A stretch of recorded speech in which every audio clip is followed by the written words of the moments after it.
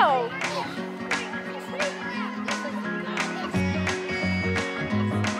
we're thrilled to announce the beautiful red bike is going to be going to the Matthews Kayapa family.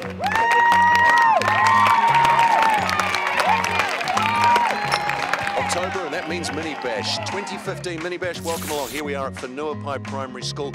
The kids are here, we've just seen a whole lot of them. They've had assembly. Of course, give us a wave, kids.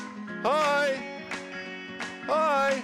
That's what it's all about. Look, little kids have been, they've been fascinated by the cars. We've got a whole new bunch of, uh, I think, 18 cars this year, 70 something uh, registered participants. The Mini Bash is underway. Weather, as always, a little iffy, but wouldn't be Mini Bash without that, would it? Whenuapai School, then we're hanging around a few of the other schools in northwest Auckland um, for a little bit of a secret coming up. You'll find out more. Stay with Bash.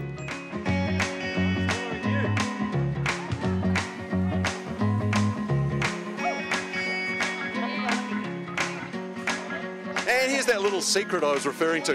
The Bashers have decided to transform the grounds of Whenuapai Primary School. This whole area was very, very tired, and the Bashers, with along with the Ford Motor Company team, the Ford Motor Company guys have been fantastic as well. Great working together with them. Look at the changes they're making. So we've just transplanted some of the really sunny plants and we've put it in this patch here and then there'll be the hedging that'll be set up there. There's a whole big team here from Ford. What's the what's the story? So the story is our Global Week of Caring. This is our contribution here at our Auckland level. So that's why we're here and we just want to be part of the school efforts. Fantastic. Good to see Ford being part of the community, always on the bash, part of the wider community, making a difference.